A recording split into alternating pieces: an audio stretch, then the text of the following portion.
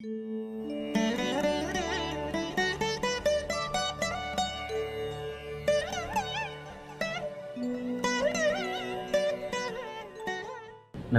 வணக்கம். எல்லோரும் நன்றாக இருப்பீர்கள். இன்றைக்கு எல்லாருமே வந்து ஏற்கனவே நான் கொடுத்து கொண்டிருக்கின்ற சில ஏற்கனவே கிட்டத்தட்ட ஒரு ஏழு எட்டு வருடமாக பேசுகிறேன். பதினோரு வருடமாக பத்து வருடமாக எழுதி கொண்டிருக்கிறேன். என்னுடைய என்ன சொன்னனே அதையே திருப்ப திருப்ப கேட்டுக்கிட்டு இருக்கிறதுனால தான் நிறைய கமெண்ட்டுகளுக்கு பதில் கொடுக்க முடியாமல் போகிறது. சில பேர் மட்டுமே ஒரு நான்கு ஐந்து கேள்விகளாக கொடுத்தால் கூட வித்தியாசமான புதிய பதிலை கொடுக்கக்கூடிய வகையில் ஒரு சிந்தனையை தூண்டக்கூடிய அளவில் கேள்வி கேட்கிறவர்கள் மிகச் சிலர் தான். இப்போ ஒருத்தர் நான்கு கேள்விகள் கேட்டிருக்கிறார். அவர் நான்கு கேள்விகளுக்குமே பதில் கொடுக்க முடியுமான்னு பார்ப்போம். அதை விட முக்கியமாக மறுபடியும் சொல்லுகிறேன். கேள்வி கேட்பவர்கள் அனைவருக்குமே ஆயிரத்தி நூறு வீடியோக்கள் போட்டு இருக்கிறோம் கிட்டத்தட்ட பத்தாயிரம் பக்கங்களுக்கு மேலே எழுதியிருக்கிறேன். அவ்வளவுமே என்னுடைய அடிட்டே குருஜி ஆண்ட்ராய்டு ஆப்பில் இருக்கு. பொது வீடியோக்கள் ப்ரீமியம் வீடியோ நீங்கள் கட்டணம் செலுத்திலாம் பார்க்க தேவையில்லை. கட்டணம் செலுத்தி போடப்பட்ட வீடியோக்களே வந்து ஒரு ஒரு உயர்நிலை அமைப்புகளுக்காக சொல்லப்படுகின்ற ஒரு கட்டணம் செலுத்தி பார்க்கக்கூடிய ஒரு வீடியோவே வந்து கிட்டத்தட்ட ஒரு இரநூறு வீடியோக்களுக்கு மேலே போட்டுட்டோம். ஆனால் அதெல்லாம் கட்டணம் செலுத்தி பார்ப்பதற்கு தயங்குபவர்களுக்கு கூட ஆயிரத்தி இரநூறு வீடியோக்களுக்கு மேலே பொது வீடியோக்கள் இருக்கு. அத்தனையுமே கண்டென்ட் வீடியோ தான். உங்களுடைய எல்லா சந்தேகங்களுக்கும் ஏதோ ஒரு இடத்துல பதில் கொடுத்திருப்பேன் அப்படிங்கிறது நிச்சயம். ஆகவே முழுக்க சந்தேகம் கேட்க வருபவர்கள் என் கையில் பேனா இருக்குது அதனால எழுதிடுறேன்ற மாதிரி என் கையில் யூடியூப் இருக்கு என் கையில் ஃபேஸ்புக் இருக்கு. டைப் பண்ணால் கீழே போயிட போகுது அப்படின்ற மாதிரியான எண்ணங்கள்ல இல்லாமல் உண்மையிலேயே ஜோதிடத்தை ஓரளவுக்கு வேறொரு பரிமாணத்தில் புரிந்து கொள்ள வேண்டும் என்று நினைப்பவர்கள் என்னுடைய பழைய வீடியோக்களை ஆரம்பத்திலிருந்து பாருங்க. அதில் உங்களுடைய சந்தேகத்திற்கு நிச்சயமாக பதில் இருக்கும். சரி இப்போது இப்போ ஃபர்ஸ்ட் கேள்வி இவருக்கு வாசிக்க போறேன். இவருக்கு கூட நான் அந்த பதில் கொடுத்துருக்கிறேன். இருந்தாலும் அது எல்லாருக்கும் ஒரு இதுன்றதுனால சொல்லிடலாம். யாசின் ஐராவதம். யாசின் ஐராவதம். எதில் நீங்கள் கேள்வி கேட்டிருக்கிறீங்கன்னு தெரியல. ஃபேஸ்புக்கா யூடியூப்பான்னு தெரியல. ஏன்னா எனக்கு ஸ்க்ரீன்ஷாட் தான் வந்திருக்கு. ஸ்க்ரீன்ஷாட்டில் உங்கள் பேர் இருக்குது ஃபேஸ்புக்கில் கேட்டிருக்கிறீங்களா? இதில் கேட்டிருக்கிறீங்களான்னு தெரியல. யாசின் ஐராவதம். குருஜி வணக்கம். சில ஜோதிடர்கள் பலன் எடுக்கும் போது போதகன் வேதகன் பாசகன் காரகன் என்கிறார்களே. அது என்ன முறை ஜோதிடம்? அது சரியானது தானா? நீங்கள் பலன் சொல்லும்போது இந்த வார்த்தைகளை பயன்படுத்தி நான் பார்த்தது இல்லையே. இதை பற்றி நானும் ஒரு பிரீமியம் வீடியோ போட்டிருக்கிறேன். சில ஜோதிடர்கள் பலன் எடுக்கும் போது போதகன் வேதகன் பாசகன் காரகன் என்கிறார்களே. இந்த போதகன் வேதகன் பாசகன் காரகன்றதை பத்தி ஒரு கட்டண வீடியோ போட்டுக்கிறோம். அதாவது ஒரு தசையின் உட்பகுதியில பாசகன் வேதகன் என்பவர் தடை தருவார் போதகன் என்பவர் தருவார் காரகன் ஒரு ஒரு விதமான தரவும் தடுக்கும் நிலையில் இருப்பார் இப்படின்னா சில விஷயங்கள் சொல்லப்பட்டிருக்கிறது பாரம்பரிய ஜோதிடத்துல.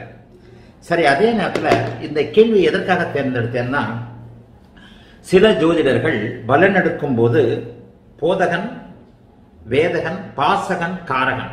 பாசகன் காரகன் என்கிறார்களே அது என்ன முறை ஜோதிடம்? அது சரியானது தானா நீங்கள் பலன் சொல்லும் போது இந்த வார்த்தைகளை பயன்படுத்தி நான் பார்த்தது இல்லையே. சரி இது சரியானது தானா அப்படின்னு வந்துருச்சுன்னா பாரம்பரிய ஜோதிடத்துல எல்லாமே சரியானது தான் ஆனால் அதற்கான் ஒரு புதிய கோணத்துல வந்து நான் வந்து சில விஷயங்களை சொல்றேன். அவரவர்கள் அதாவது ஒரு யானையை குருடர்கள் பார்த்த கதை.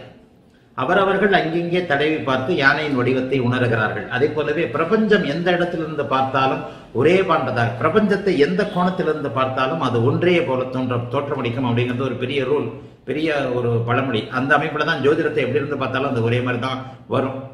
நல்லா புரிஞ்சுக்குங்க. நான் ஒரு என்னுடைய அனுபவத்தின் காரணமாக பரம்பரோடு எனக்கு கொடுத்த ஒரு சிறிய அறிவு ஒரு கருணையின் காரணமாக ஓரளவிற்கு ஒரு ஐந்து சதவிகிதமாவது இந்த ஜோதிடத்தை தெரிந்து வைத்திருக்கிறேன். அஞ்சு சதவிகிதம் ஜோசியத்தை தெரிஞ்சாலே பெரியாள் பெரியாள் தான். ஏன்னா வாழ்நாள் முழுக்க ஜோதிடம் எனக்கு தெரியும்னு நம்பியே தெரியாமலே இறந்து போகின்ற எத்தனை பேர் இருக்கிறாங்க. அந்த வகையில் எனக்கு ஒரு ஐந்து சதவிகித அளவிற்கு ஜோதிடத்தை தெரிய பரம்பொருள் அனுமதித்திருக்கிறார். கிட்டத்தட்ட ஒரு நாற்பது ஆண்டு காலத்திற்குள்ள ஒரு இருபது ஆண்டு காலம் வேறு வேலையே இல்லாமல் முழுக்க முழுக்க ஜோதிடத்தையே ஆய்வு செய்து விட்டு ஆய்வு செஞ்சிருக்கிறேன். அதனால சில விஷயங்கள் எனக்கு ஓரளவுக்கு என்னுடைய சிற்றறிவிற்கு அது வந்திருக்கிறது. அந்த அமைப்புகளில் ஒன்று தான் அந்த போதகன் காரகன் வேதகன் பாசகன் எல்லாமே. இந்த வேதகன் வேதை என்று சொல்லப்படுகின்ற சொல்லப்படுகின்ற ஒரு விஷயம் நடப்பதற்கு அங்கே இருக்கக்கூடிய தடை. தடுப்பு. இதுதான் வேதைன்னு சொல்றோம். கோச்சார வேதைன்னு சொன்னோம்னா நல்லதையோ கெட்டதையோ ஒரு கிரகம் தர இருக்கின்ற நிலையில அந்த நல்லதையோ கெட்டதையோ செயலை தடுக்கின்ற நிலையில் ஒரு வேதை அமைப்பு வேதகன் அமைப்பு அங்கே இருக்கும். அது நல்லதா கெட்டதான்றது உங்க அமைப்பு. ஆக இந்த அமைப்பின்படி பாதக வேதகன் போதகன் பாசகன் காரகன் என்கின்ற அமைப்பு வேத ஜோதிடத்தில் சொல்லப்பட்டாலும் அது முக்கியத்துவம் முக்கியமானது அல்ல. இந்த மாதிரி சாதாரண விஷயங்கள் ஏகப்பட்ட விஷயங்கள் தேவையற்ற விஷயங்கள் இப்போது நான் சொன்ன வேதகன் போதகன் பாசகன் காரகன் தேவையற்றது. உறுதியாக தேவையற்றது. எல்லாத்துக்கும் ஒரு ஹை ஹையர் நிலை ஹை நிலை இந்த சுபத்துவம் பாவத்துவம் சுற்றுமோல்னு சொல்லிடுறேன். பர்ஃபெக்டாக இருக்கும். இதை சொல்லுவாங்க. அப்புறம் நான்காவது தசையாக சனி தசை மூன்றாவது தசையாக நேச தசை ஐந்தாவது தசையாக செவ்வாய் தசை யாராவது ஏழாவது தசையாக வர்றது. பொதுவான விதிகள் அனைத்தும் பொய்யானவை. தப்பு. பொய்ன்னு சொல்ல வேண்டாம். தப்பு. ஏதோ அந்த காலத்தில் நாலாவது தசை இப்படி வந்ததுன்னா சனி தசை வந்ததுன்னா ஒருத்தர் நல்லா இல்லை அப்படின்னு சொல்லப்பட்டு அது. அதே மாதிரி அஷ்டவர்க்க கணக்குகள்லாம் சில பேர் அஷ்டவர்க்கத்தை பிடிச்சிக்கிட்டே பலன் சொல்கிறாங்க அஷ்டவர்க்க கணக்குகள்லாம் வேறு விதமான ஒரு கணக்கு போடுவதற்காக. தசவர்க்கத்திலேயே வந்து இத்தனை விஷயங்களை சொல்கிறார் இல்லையா? பராசரர் தான் சொல்கிறாரான்றதே வந்து சந்தேகத்திற்குரியது. எல்லா நிலைகளிலும் கிரகங்கள் ஒரு பெரிய அகண்ட பாதை அந்த அகண்ட கணக்கற்ற மைல்கள் கொண்ட ஒரு இடத்துல எந்த இடத்தில் துல்லியமாக இருக்கிறது அப்படிங்கிறத கணக்கு போகிறதுக்கு தான் இந்த வர்க்க சக்கரங்களே வந்தன. ஆனா அதுல போயிட்டு நீங்க D ten D nine D two வர்க்க சக்கர தசம் ச- தசம இதுல வந்து ஆஹ், திரேகாணத்துல இப்படி இருந்தா என்ன பலன்? அதுல இப்படி இருந்தா அப்படி பலன்? அதுவும் எல்லாம் தப்பு. ஜோதிடத்துல பொதுவான பலன்கள் அத்தனையுமே தப்பு. இது அத்தனை விஷயங்கள் இந்த பாதகன் வேசகன் கேதகன் எல்லாமே பாரம்பரிய ஜோதிடத்துல வராது. நான் சொல்லுகின்ற மிக ஜோதிடம் மிக சுருக்கமான அருமையான ஒன்று. அதைத்தான் இப்போ வந்து ஹேர் ஹை நிலையாக இது அடிப்படை நிலையிலிருந்து எடுக்க போகிறோம் புலி வருதுன்னு புலி வருதுன்னு சொல்லிக்கிட்டே இருக்கிறேன். எப்போ அதை ஆரம்பிக்கிறதுன்னு தான் தெரியல. சில சில தடங்கல்கள் இருக்கின்றன. ஆனால் கண்டிப்பாக இந்த வருடத்திற்குள்ள என்ன நாற்பது நாள். தை- ஜனவரி மாதம் ரெண்டாயிரத்தி இருபத்தி ஒன்றாம் தேதி கண்டிப்பாக ஆரம்பிச்சிருவேன். அதை பற்றி கவலைப்பட வேண்டாம். கண்டிப்பாக இதுக்கு மேலே தள்ள மாட்டேன். கண்டிப்பாக அடிப்படை வகுப்புகள் வரப்போகுது. இந்த அடிப்படை வகுப்புகளில் வேத ஜோதிடத்தை பாரம்பரிய ஜோதிடத்தை மிக நுணுக்கமான வகையில் உங்களுக்கு சொல்லிக் கொடுக்க போகிறேன். ஆகவே இந்த வேதகன் என்னை பின்பற்றுகிறவர்கள். உண்மையான ஜோதிடன் அறியணும் அப்படின்னு சொன்னால் அந்த வேதகன் பாதகன் இதுல தான் பலன் வரவே வராது. நாலாவது தசையா வந்தா அஞ்சாவது தசையா வந்தா ஆறாவது தசையா வந்தா பலன் தராது. பத்து பொருத்தம் சுத்தமாக போய். அஷ்டவர்க்கங்கள் எதற்கு பயன்படுத்த வேண்டும்? எல்லாமே கால்குலேஷன்ஸ் தான். ஆனால் அந்த கால்குலேஷன்ஸை வச்சு எப்படி பலன் சொல்றது அப்படிங்கிறதுக்கு தான் அந்த சுபத்துவம் சூட்சுமம் இது போன்ற அந்த அந்த அந்த பாவத்துவ விஷயங்களுக்கு வந்துடுவேன் இந்த பேச ஆரம்பிக்கிறவங்க எல்லாருமே எப்படி பேசுறீங்க? குருஜி உங்களுடைய அந்த வீடியோக்கள் உங்களுடைய அந்த சுகத்துவம் பாபத்துவம் புரிந்ததற்கு பிறகு டக்கு டக்கு டக்கு டக்குன்னு எல்லாமே கண்ணை கட்டின மாதிரி வந்துருச்சுன்னு சொல்றீங்க இல்லையா? ஒரு வெற்றிகரமான ஜோதிடனாக நீங்கள் இருக்க வேண்டும். ஒரு வெற்றிகரமான ஜோதிட ஆர்வலனாக நீங்கள் இருக்க வேண்டும் அப்படின்னு வந்துட்டீங்கன்னாலே நான் சொல்லுகின்ற சுகத்துவ பாவத்துவம் கேந்திர கோண மறைவிடங்கள் அனைத்தையும் அறிந்து கொண்டு அதன் பிறகு லக்னத்தை மறந்து விட்டுகின்ற நிலைமையில வந்து உங்களுக்கு அந்த சுபத்துவ பாவத்துவ அமைப்புகள் பிடிபட்டுவிடும். பாவக காரக சுபத்துவத்தை ஆதிபத்திய காரக சுபத்துவத்தை பாபத்துவத்தை அறிந்து கொண்டாலே வந்து என்ன பலன் எப்போது நடக்கும்ன்றதை நூறு சதவிகித துல்லிய அமைப்போடு சொல்ல முடியும்ன்றதான் உண்மை. ஆகவே பாரம்பரிய ஜோதிடத்தில் எங்காத்துக்காரரும் கச்சேரிக்கு போகிறார் என்ற வகையில் பல ஜோதிடர்கள் தங்க தாங்கள் அறிந்ததை ஒரு விதியாக எழுதி வைத்தவை எழுதி சொருகியவை ஏராளம். அவைகள் எல்லாம் நாம் தான் நான் இப்ப போன ஒரு கட்டுரையில் எழுதினது போல பாலையும் நீரையும் அன்னப்பறவை பிரிக்கும் என்று சொல்லப்பட்டது. அது உண்மையோ பொய்யோ? அந்த பாலையும் நீரையும் ஒரு உதாரணத்திற்காகத்தான் சொல்றது. பாலையும் நீரையும் பிரிக்கும் அன்னப்பறவை போல உங்களுக்கு அனுபவம் இருந்தால் அதை பிரித்து தேவையற்றதை குப்பை என்று ஒதுக்கி அப்படியே தள்ளிடுங்க. எனக்கு அனுபவம் வந்து விட்டது அனுபவம் இருக்கிறது நான் இளம் வயதிலிருந்தே இதே வேலையாக இருந்தேன். அதனால எனக்கு அந்த ஒரு அளவுக்கு அந்த தத்துவம் வந்துருச்சு. இதுதான் இப்படிதான் இது இது இது தேவை இது தேவையில்லைன்ற ஒரு கால்குலேஷன் எனக்கு வந்துருச்சு. வராதவர்கள் சற்று குழம்பத்தான் செய்வீர்கள். அது வந்து உங்க மேல தப்பு இல்லை அது இந்த சாஸ்திரத்துடைய ஒரு இது. எல்லா சாஸ்திரமும் அப்படித்தான். காய்த்த மரம் தான் கல்லடிபடும் என்பதை போல ஏறத்தாழ ஒரு ஆயிரத்தி ஐநூறு ஆண்டுகள் ஆயிரத்தி ஐநூறு ஆண்டுகளாக வந்து கொண்டிருக்கின்ற நீடித்து வந்து கொண்டிருக்கின்ற இந்த சாஸ்திரத்துல அப்டேட் வரும்போது பழையன கழிதல் புதியன புகுதல் அப்படின்ற மாதிரி சில விதிகள் போகும் சில விதிகள் வரும் தான் அதை நம்ம தான் வந்து அதை வந்து எது சரி எது தவறுன்றதை எடுத்துக்கணும். அதே அதனால இந்த பாதகன் வேசகன்றதை வந்து க- இந்த வீடியோவாக போட்டுக்கிறேன் அந்த வீடியோவாக போட்டதுலேயே இதை பற்றின உண்மையை எப்படியே சொல்லியிருக்கிறேன். அதனால இதெல்லாம் முக்கியத்துவம் கிடையாது. வேத ஜோதிடத்தில் இருக்கக்கூடிய ஆயிரம் ஆயிரம் அபத்தங்கள்ல இதுவும் ஒன்று. ஏகப்பட்டதை சொல்லலாம். இதெல்லாம் தேவையில்லாம எப்போது சுருக்கமாக ஒரு தசை என்ன பலனை செய்யும்? நான் இப்போது எழுதி கொண்டிருக்கின்ற ஜோதிடம் ஒரு விஞ்ஞானம். ஒரு கிரகம் எதை தரும்? ஒரு பாவகம் எதை தரும்? ஆறு எட்டு அது- பாவகங்களின் தன்மைகள் என்ன?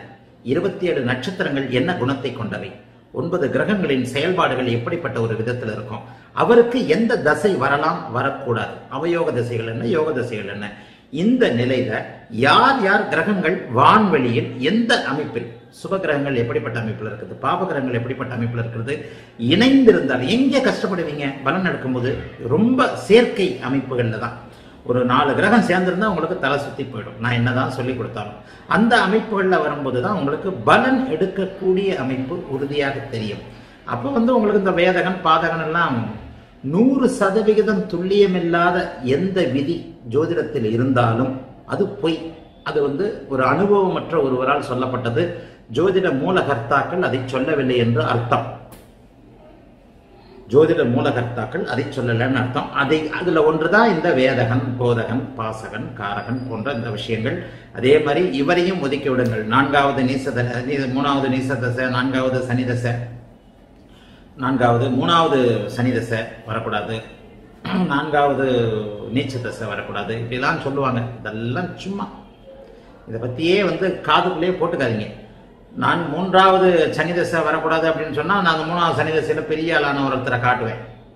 நீச்ச தசை வரக்கூடாதுன்னா அந்த நீச்ச தசையில் சிஎமான ஒருத்தர் இருக்கிறார். நீச்ச தசையில் சிஎமான ஒருத்தர் இருக்கிறார். அதனால விதிகள் எங்கே துல்லியமாக இருக்குமோ அதை பற்றி மட்டும் பாருங்கள். இந்த அஷ்டவர்க்க கணக்குகள் பலன் சொல்வதற்கு உதவாது. அஷ்டவர்க்கத்தை வச்சு பலன் சொல்றதும் தவறாகும். அந்த மாதிரி ஜோதிடர் ஒரு ஆர்டினரி ஜோதிடராக இருப்பார். ஜோதிடம் என்பது உறுதியாக ஒளித்தத்துவம் உள்ள ஒரு மனிதனின் வாழ்க்கையை துல்லியமாக சொல்ல அறிய முடியக்கூடிய ஒரு கலை. நம்மளால தான் அறிய முடியலையே தவிர அது வந்து அங்கே ஒளிந்து கொண்டுதான் இருக்கிறது. இன்றைக்கு நான் எழுதியிருக்கிற ஒரு கட்டுரையில கூட ஜோதிடத்தின் மேல சொல்லப்படுகின்ற இந்த குற்றச்சாட்டை வந்து சொல்லியிருக்கிறேன். என்ன சொல்லியிருக்கிறேன் அப்படின்னு சொன்னா நடந்த பிறகுதான் நீங்கள் நடந்த பிறகுதான் நீங்கள் வந்து ஜோதிடத்தில் அந்த நடந்ததற்குரிய விளக்கத்தை சொல்லுகிறீர்கள். ஆனால் நடப்பதற்கு முன்பே அதை உங்களால் சொல்ல முடியலையே என்ற ஒரு குற்ற குற்றச்சாட்டு ஜோதிடத்தில் இருக்குன்னு சொல்லியிருக்கிறேன். இன்றைக்கு வந்து பாபத்துவ சுற்றுமா விளக்கத்தை கட்டுரையாக இன்றைக்கு வருகின்ற மாலைமலர் கட்டுரையில் இதை பற்றி எழுதியிருக்கிறேன். நான் சமீபத்தில் நான் பலன் சொன்ன ஒன்று ஒருவர் தன்னை பற்றி எதுவுமே சொல்ல முடியாது சொல்லாத நிலையில் ஒரு ஆன்லைன் அப்பாயின்மெண்ட்டில் தன்னை பற்றி எதுவுமே சொல்லாத ஒரு நிலையில் அவரை பற்றி நான் மூன்று நிமிஷம் சொன்ன சுருக்கம் நீங்கள் இப்படிப்பட்டவர் இங்கே இருக்கிறீர்கள். இந்த நிலையில் இருக்கிறீங்க. அதாவது வெளிநாட்டில் இருக்கிறீங்க. வெளிநாட்டில் இந்த துறையில் பணிபுரியுறீங்க. உங்களுடைய குடும்ப வாழ்க்கை இப்படி இருந்தது அப்படின்னு சொல்லிட்டு அவர் எதுவுமே சொல்லாத நிலையில நான் கணித்ததை சொல்லி இது எல்லா எல்லாருக்கும் என்கிட்ட ஆன்லைன் அப்பாயின்மெண்ட் வர்றவங்க எல்லாருக்குமே தெரியும். கணித்ததை சொல்லி அவர் அந்த அவரும் அந்த ஜோதிட அறிவு இருந்ததுனால குருஜி நீங்க இந்தந்த விஷயத்துல இப்படி இப்படி சொல்றீங்க. எனக்கும் இதை புரிஞ்சுக்கிற அமைப்பு இருக்கு. கரெக்ட் உங்களுடைய சுபத்துவ பா- பாவத்துவ விதியின் அமைப்புல இந்த மாதிரி நிலைகள்ல நான் சரியாக பொருந்தி வருகிறேன். அப்படின்னு சொன்னதை இன்னைக்கு ஒரு கட்டுரையாகவே எழுதியிருக்கிறேன். ஆகவே இந்த தேவையற்ற போதகன் கே வேதகன் பாதகன் இது போன்ற விஷயங்களில் உங்களுடைய கவனத்தை சிதற விடாமல் நான் சொல்லுகின்ற பாவக சுபத்துவம் கிரக சுபத்துவம் அடுத்து இனிமேல் இந்த இந்த செக்டார் முடிஞ்சு ஓரளவுக்கு எல்லாரும் நீங்க அதை புரிஞ்சுக்கிட்டோம்னா நான் பாவக முனைகள் அமைப்பிற்கு வருவேன். ஒரு ஒரு பாவக முனையை எந்த கிரகம் பார்க்கிறது? அந்த பாவகத்திலிருந்து அந்த பாவகம் முடியும் அமைப்பிற்குள் எத்தனை கிரகங்கள் தொடர்பு கொள்கின்றன என்கின்ற மிக உயர்நிலை புரிதலுக்கு வருவேன். பலன் சொல்வதற்கு மிகவும் தேவையானது ஒன்று. ஒரு கிரகம் பார்க்கிறது என்றால் எத்தனை டிகிரிக்குள் எங்கே பார்க்கிறது? அது பாவக முனையை பார்க்கிறதா? பாவக வேறிடத்தை பார்க்கிறதா? அந்த பாவகத்தை முப்பதாக பிரிக்கும் போது முப்பது டிகிரியாக பிரிக்கும் போது உள்ளுக்குள்ளே இருக்கின்ற சில விஷயங்கள் என்ன? எந்த எந்த கிரகங்கள் சேர்க்கையில் அமரும் போது எத்தனை டிகிரி தூரத்திற்குள் இருக்கின்றன அப்படிங்கிறத மிக உயர்நிலை புரிதல் உள்ள ஒரு விஷயத்தை அடுத்து வந்து சொல்ல வருவேன். அப்போ வந்து இன்னும் சில விஷயங்கள் நிச்சயமாக உங்களுக்கு வேத ஜோதிடத்தில் கண்டிப்பாக பிடிபடும் ஆகவே யாசின் நீங்கள் இந்த வா வேதகன் பாதகன் போதகன் இதெல்லாம் பாரம்பரிய ஜோதிடத்தில் யாரோ எழுதி சொருகிய குப்பைகளை எல்லாம் பார்க்காம நானும் ஒரு காலத்தில் படிச்சுக்கிட்டு வந்தேன் தான் நானும் ஒரு காலத்தில் இதை படித்ததுனால தான் அந்த குப்பைன்னு உங்களுக்கு சொல்கிறேன் அதை படித்ததுனால தான் எனக்கு அந்த வேதகன் போதகன் பாசகன் காரகன்லாம் தெரியுது. அதை பற்றின ஒரு வீடியோவும் போட்டிருக்கிறோம். ஆகவே நிச்சயமாக இதை நம்ப வேண்டாம். இது தே- இது தேவை இது தேவையில்லாத ஒன்று. இதை பற்றி காதலே போட்டுக்கொண்டேன் வேலை வேலையை பாருங்க. சரி அடுத்து உங்களுடைய இன்னொரு கேள்வி. இன்னொரு கேள்வி. யாசின் ஐராவதம் ஜோதிடம் இந்துக்களுக்கு மட்டும்தானா? ராகுவின் ஏழாம் இட தொடர்பு இஸ்லாமிய வாழ்க்கை துணை என்றும் கேதுவின் ஏழாம் இட தொடர்பு கிறிஸ்துவ வாழ்க்கை துணை என்றும் சொல்கிறீர்கள். சரி. என் தந்தைக்கு ராகுவின் தொடர்பும் என் தாய்க்கு கேதுவின் தொடர்பும் ஏழாம் இடத்திற்கு உண்டு. நீங்கள் சொன்னதைப் போல அமைந்துள்ளது. அப்பா கிறிஸ்துவர் அம்மா இஸ்லாமியர். ம், நல்ல காம்பினேஷன்ஸ் யாசின் ஐராவதம். அப்படின்னா யாசின்னா நீங்க ஆனா பெண்ணா எனக்கே டக்குன்னு புரியல. ஆனா பெண்ணா யாசின்றது பெண் பேரா ஆண் பேரா? யாசின் ஐராவதம் ஜோதிடம் இந்துக்களுக்கு மட்டும்தானா? ராகுவின் ஏழாம் இட ராகுவின் ஏழாம் இட ராகுவின் ஏழாம் இட தொடர்பு இஸ்லாமிய வாழ்க்கை துணை என்றும் இஸ்லாமிய வாழ்க்கை துணை என்றும் கேதுவின் ஏழாம் இட தொடர்பு கிறிஸ்துவ வாழ்க்கை துணை என்றும் சொல்கிறீர்கள். என் தந்தைக்கு ராகுவின் தொடர்பும் என் தாய்க்கு கேதுவின் தொடர்பும் ஏழாம் இடத்திற்கு உண்டு. நீங்கள் சொன்னதைப் போல அமைந்துள்ளது. அப்பா கிறிஸ்துவர் அம்மா இஸ்லாமியர். என்னுடைய கேள்வி என்னவென்றால் எனக்கும் ஏழாம் அதிபதி ராகுவுடன் இணைந்தும் சூட்சுமவள சனியின் பார்வையிலும் சுபத்துவ செவ்வாயின் பார்வையிலும் உள்ளார். கிறிஸ்தவனாக பிறந்து இஸ்லாத்தில் வாழ்ந்து வரும் எனக்கு எது ராகு தரும் அந்நிய மதம்? இந்து மதம் தான் இந்து மதம் தான் சுருக்கமாகவே கேட்கிறேன். இஸ்லாமியனுக்கு ராகுவும் கிறிஸ்தவனுக்கு கேதுவும் எந்த மத வாழ்க்கை துணையை குறிப்பார்கள்? இந்த ஒரு கேள்வியில சொ- ஒரு வார்த்தையில சொல்ல முடியாத கேள்வி இது. சரி ஜோதிடம் இந்துக்களுக்கு மட்டும்தானா? இல்ல. ஜோதிடத்திற்கு மதம் இல்லை. யாசின் ஐராவதம் உங்க பேரே வந்து ரெண்டு ரெண்டு ரெண்டு பேரா இருக்கு பாத்தீங்களா? ஐராவதம்ன்றது இந்து பேர். யாசின்றது வந்து இஸ்லாமிய பேர் நினைக்கிறேன். ஜோதிடம் இந்துக்களுக்கு மட்டும்தானா? கண்டிப்பாக இல்லை. ஜோதிடம் வந்து நிச்சயமாக எல்லா மதத்தினருக்கும் பொதுவானது. சரி ஏன் இஸ்லாமும் கிறிஸ்தவமும் ஜோதிடத்தை வெறுக்கிறது? வேண்டாம்னு சொல்லுது அப்படின்னு சொன்னா அந்த காலத்துல இது சம்பந்தமான குரான்லேயே இருக்குன்னு நினைக்கிறேன். நான் ஒரு ஏதோ இதில் கேள்விப்பட்டிருக்கேன். அதாவது நபிகள் நாய நபிகள் நாயகம் ஐயா இறைத்தூதர் நபிகள் நாயகம் ஐயா அவர்கள் வந்து அந்த ஜோதிடத்தை வைத்து சமூகத்தில் நிறைய குழப்பங்கள் பரிகாரங்கள் என்று சொல்லி பணம் விடுங்குகின்ற நிலைமை பயமுறுத்தி இப்போ இது பண்ற நிலைமையில வெறுத்து தான் வந்து அது அதற்கான இதைகளை எதிர்ப்பு அமைப்புகளை மேற்கொண்டார்.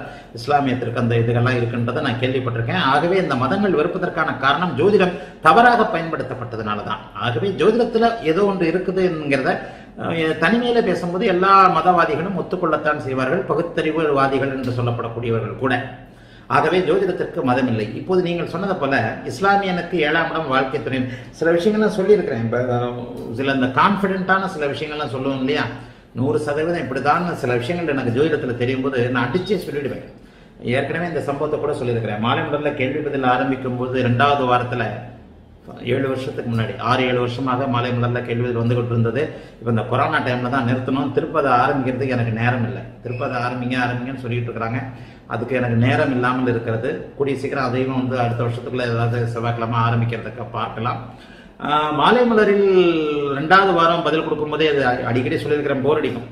ரெண்டாவது வாரம் கொடுக்கும்போதே ஒருத்தர் வந்து என்னுடைய மகள் எப்போது திருமணம்ன போது உன்னுடைய மகள் வந்து ஒரு கிறிஸ்துவ பையனை காதலிக்கிறார்.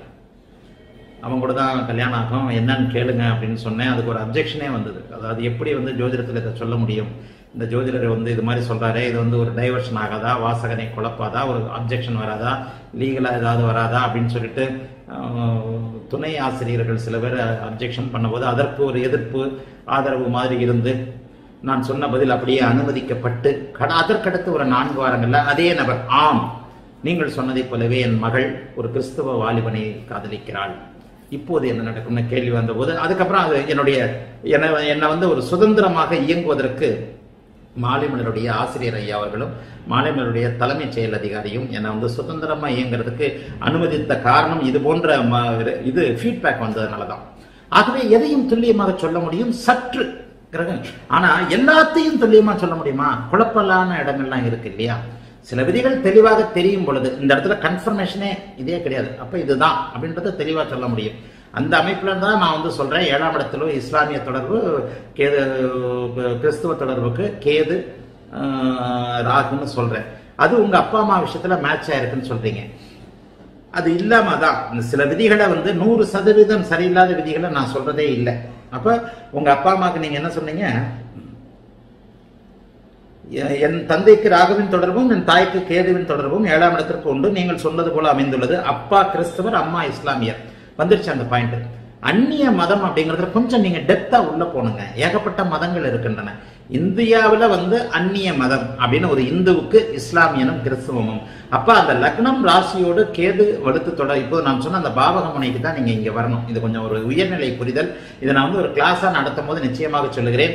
மேலோட்டமான ஒரு விதிகளை சொல்லியிருக்கிறேன். ஏழாம் இடத்தில் ராகு தொடர்பு கொள்ளும் போது இது இஸ்லாமிய அமைப்பும் லக்னத்தோடு கேது தொடர்பு கொள்ளும் போது இது பாருங்க ரெண்டும் ஒரே மாதிரி வருது பாருங்க. லக்னத்துல ஏழாம் இடத்துல ராகு இருந்தாலே லக்னத்துல கேது வந்துடும் அப்ப எந்த இடத்துல? லக்னத்தோடு ராசியையும் சேர்த்து பார்க்க வேண்டிய அமைப்பு இது. லக்னத்தோடு ராசியையும் சேர்த்து பார்க்க வேண்டிய ஒரு அமைப்பு இது. ஆகவே எந்த நிலையில் எங்கே பொருத்தி பார்ப்பது அப்படிங்கறத தான் நீங்க உங்களுடைய அனுபவத்துல தான் கொண்டு வரணும். இப்போ உங்களுடைய கேள்வி என்ன? இஸ்லாமியனுக்கு ராகுவும் கேதுவுக்கு கிறிஸ்தவனுக்கு கேதுவும் எந்த மத வாழ்க்கை துணையை குறிப்பார்கள்ன்றதுல நீங்கள் லக்னம் ராசி இரண்டையும் பொருத்தி பார்த்து ஒரு இஸ்லாமியனுக்கு கிறிஸ்தவ மதம் வருமா அல்லது இந்து மதம் வருமா? இந்து மதத்தின் மிக முக்கிய கிரகங்கள் குரு சனி. இந்து மதத்தின் மிக முக்கிய கிரகங்கள் குரு சனி. சனி வந்து ஒரு மாதிரியான ஆன்மீக அமைப்புகளை அமைப்புகளை கொடுப்பார். அப்ப அந்த குரு சனி தொடர்புகள் ராகுவிற்கு இருக்கிறதா கேதுவிற்கு இருக்கிறதா? காம்பினேஷன்ஸ் தானங்க ஒரு ஜோதிடம்ன்றது ஒரு விதமான காம்பினேஷன்ஸ் இந்த காம்பினேஷன்ஸை அதுக்கு தான் அந்த பாவக சுபத்துவம் காரக சுபத்துவம் கிரகங்களை பற்றியது அப்படி இப்படின்னு சொல்றேன். ஆக இப்போது எந்த ஒரு இடத்துலையுமே ஒரு வரியில நீங்க பதில் சொல்லிடவே முடியாது. ஒரு வரி ஒரு வார்த்தையில ஜோதிடத்துல பதிலே இல்லை. ஏனென்றால் அந்த காம்பினேஷன்ஸ்களை நீங்க தான் மனித மூளை தான் கணிச்சு தான் அதை நீங்க சொல்ல முடியும். ஆகவே இந்த இடத்துல நான் சொன்ன மாதிரி ஒரு அந்நிய மதம் என்பது மற்ற பிற மதங்களை குறிக்கக்கூடியது. அந்நிய மதம் இனம் மொழி. சில நிலைகளில் ராகு ஆங்கிலத்தையும் உருதையும் குறிப்பவர். கூடவே தெலுங்கையும் குறிக்கிறவர். சில நிலைகளில் கேது ஆங்கிலத்தை மட்டும் குறிப்பவர். ஆக அந்தந்த இடத்திற்கு தகுந்தாற் போல நீங்க அந்நிய மதம் அந்நிய மொழி அந்நிய இனம் அப்படிங்கறத நீங்க வந்து புரிஞ்சுக்கணுமே தவிர இதற்காக வந்து ஒரு தனியா வந்து இந்த இந்த கேள்விகளுக்கு வந்து தனியான ஒரு இதை எடுக்கலாம். ஆகவே நீங்க கேட்ட இன்னும் ரெண்டு கேள்விக்கு அடுத்து வந்து உங்களுக்கு பொதுவான ஒரு வீடியோலயே பதில் தரேன். இன்னும் ரெண்டு கேள்வி நல்ல கேள்வி தான் கேட்டிருக்கிறீங்க. என்ன கேள்வி கேட்டிருக்கிறீங்கன்னா இந்த சூரியன் இருக்கின்ற கேது சூரியன் ஆட்சி உச்சத்தை பற்றியும் அது வந்து கேதுவுடைய நட்சத்திரங்கள் அணுக அணு அணுகிறதையும் இதை பற்றி கேட்டிருக்கிறீங்க. அதையும் வந்து கண்டிப்பாக பார்க்கலாம். இப்போது வந்து இந்த இந்த ஏழாம் இடம் அதே நேரத்தில் இன்னொன்னு சொல்லிடுறேன். சொந்தக்காரர்கள் அல்லாமல் அந்நியர்களை திருமணம் வேறு ஜாதியில திருமணம் செஞ்சுக்கிறது கூட ராகுக்கதுக்கள் தான் காரணம். பாப கிரகங்கள் காரணம். சுபத்துவம் இல்லாத பாப கிரகங்கள் காரணம். ஏழாம் பாவகத்துல முழுமையான சுபத்துவ கிரகங்கள் இருக்கும்போது தான் அறிந்தவரை திருமணம் செய்து கொள்ளக்கூடிய ஒரு நிலைமை. ஏழாம் இடத்துல முழுமையான ஒரு அமைப்புல ராகு இருக்கும் பொழுது ஏன்னா அவர் ஐயர் பையன் பிராமண ப- பிராமண பையன் இஸ்லாமிய பெண்ணை திருமணம் செய்திருக்கிறார் ஏழில் ராகு. அவர் அங்கே பாபத்துவம் அவருக்கு ஏற்றாற் போல பாபத்துவம் அடுத்து தசாபுத்தி அமைப்புகள். திருமணத்திற்கு பிறகு எத்தகைய சூழல்ல தசாபுத்தி அமைப்புகள் அமைகிறது? அடுத்து ராகதசை கண்டினியூ ஆகுதா? நான் இதை கூட ஒரு இடத்துல சொல்லியிருக்கிறேன். ராகுதசை முடிய போதா? அந்த காதல் தோல்வி அடையும். ராகுதசை ஆரம்பிக்க போதா? அந்த காதல் நிறைவேறும். ஏன்னா முற்றிலும் வேறான ஒரு பெண் இஸ்லாமிய பெண்ணை வந்து ஒருத்தர் இந்து வாலிபர் மனமுடிக்க எண்ணுகிறார். அந்த பெண்ணிற்கு ராகதசை ஆரம்பம். அந்த பெண் நிச்சயமாக இஸ்லாமிய வாலிபரை திருமணம் செய்து கொள்வாள். அந்த இந்து வாலிபரை. ஏன்னா அவளுடைய சூழலுக்கு இஸ்லாமிய சூழலுக்கு மாறுதலான சூழல்களை தரக்கூடிய ராகுவின் திசை அடுத்து பதினெட்டு வருஷங்களுக்கோ பதினாறு பதினேழு வருஷங்களுக்கோ நடக்க இருக்குதுன்னா ரெண்டு பேருக்கும் கல்யாணம் நிச்சயமா ஆகும்னு அர்த்தம். அந்த பெண் ஒரு மாறுபட்ட சூழலுக்கு மாறப்போகிறாள். இதைத்தான் காம்பினேஷன்ஸ் சொல்றேன். எந்த மதம் எப்படிப்பட்ட சூழல் ராகு கேதுக்கள் யாரை தருவார்கள் மதத்தை தருவார்களா மொழியை தருவார்களா? சரி இதே விதி தமிழ்நாட்டைச் சேர்ந்த ஒரு கேரள பெண்ணை மணக்கிறவருக்கும் பொருந்தும். தமிழ்நாட்டைச் சேர்ந்த ஒரு கேரள பெண்ணை மணக்கிறவருக்கும் பொருந்தும். அதே இந்த ரெண்டு பேருமே இந்துவா இருக்கலாம். இந்த பெண் மலையாளம் பேசுவார் அந்த பையன் வந்து தமிழ் பேசுவார். அப்ப அந்த இடத்துல ராகு மொழியை வேறுபடுத்தி காட்டுவார். இதற்கு உள்ளுக்குள்ளே இதுக்கு தான் அந்த பாவக முனை அமைப்புகள்னு சொன்னேன். கொஞ்சம் மெனக்கட்டால் பாவக முனை அமைப்புகளுக்குள்ள ராகு கெதுக்கள் ராகு கெதுக்களுக்கு பார்வை கிடையாது. பாவக முனை அமைப்புகளுக்குள்ள ஏழாம் பாவகத்தில் எந்த இடத்தில் எந்த பாவக முனையில் எந்த அமைப்பில் ராகு கெதுக்கள் தொடர்பு கொண்டிருக்கிறார்கள் என்பதை வைத்துத்தான் எந்த மதம் அந்நிய மதம்ன்றது உண்மை. எந்த மதம்? நிறைய ஆய்வு பண்ணணும் அவ்வளோதான் வேற ஒன்றும் இல்லை. எந்த மொழி எந்த இடம் எந்த இதை பற்றி வடக்கு திசையா கிழக்கு திசையா அப்படின்றத பற்றி கொஞ்சம் போக முடியும். ஆகவே இப்போது நீங்கள் கேட்ட கேள்விகளுக்கு அந்த பாவகத்தில் இருக்கின்ற தூர அமைப்புகளும் இணைந்திருக்கின்ற கிரகங்களின் தூர தூர அளவுகளும் ராகுகளுக்கு தரும். அதை அதை வந்து ஏற்கனவே மெல்ல இதாக சொல்லியிருக்கிறேன். எட்டு பதிமூன்று இருபத்தி ரெண்டு டிகிரின்னு ஒரு அளவுகள் சொல்லியிருக்கிறேன் பாருங்கள் ராகுவிற்கு எட்டு டிகிரிக்குள் இருக்கின்ற கிரகம் பதிமூன்று டிகிரிக்குள் இருக்கின்ற கிரகம் இருபத்தி ரெண்டு டிகிரிக்குள் இருக்கின்ற கிரகம் அப்படின்னு ஒரு விதி சொல்லியிருக்கிறேன். அந்த விதியை கூட நீங்கள் என்னுடைய பழைய ஆர்டிகிள் இதில் படிக்கலாம். அதை படிங்க. அதனை அடுத்து நுணுக்கமாக உள்ளே போகும்போது அந்த உயர்நிலை வகுப்புகளில் எதை சொல்லிக் கொடுக்க முடியுமோ அந்த இதை சொல்லிக் கொடுக்கலாம். சரியா? வாழ்த்துக்கள். எல்லோரும் நன்றாக இருப்பீர்கள்.